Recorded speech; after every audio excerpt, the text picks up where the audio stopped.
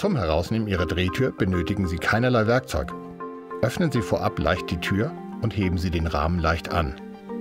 Halten Sie den Kopf des oberen Stiftes fest und bewegen Sie die Tür leicht auf und ab, bis sich der Stift aus der unteren Scharnierhälfte gelöst hat. Wiederholen Sie diesen Schritt beim mittleren und beim unteren Scharnier.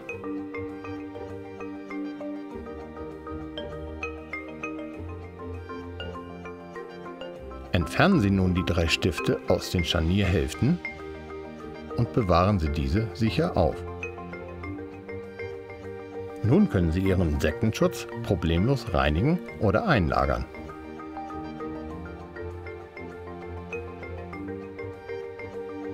Vor dem Einsetzen der Drehtür beträufeln Sie die Scharnierstifte mit Beschlags- oder Haushaltsöl.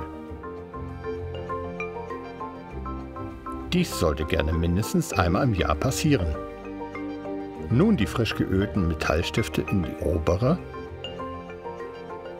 mittlere und untere Scharnierhälfte einführen.